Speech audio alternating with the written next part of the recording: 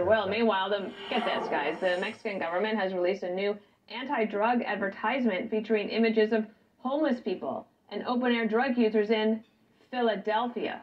The hope is to scare kids in Mexico from doing drugs. But why is Mexico using video from a major U.S. city?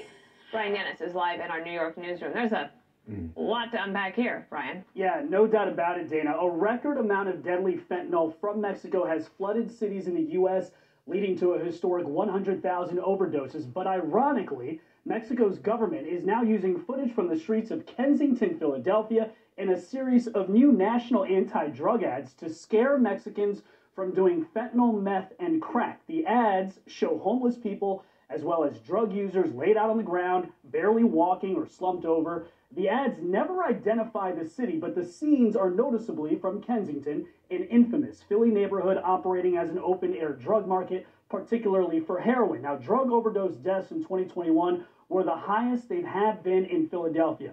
1,278 people died, 77% from fentanyl. Philadelphia's Mayor Jim Kenney said it was hard to see his city portrayed in a limited and negative light in the ads. We spoke to Dr. Robert Ashford, head of the Unity Recovery Community Organization in Philadelphia. He says the ads are offensive and outdated.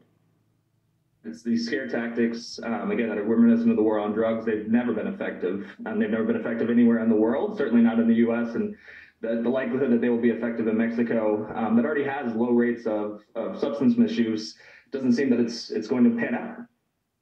Mayor Kenney says the city is working hard to provide education, outreach, and prevention tools to keep people alive and connect them to support. No word on why they chose Philadelphia.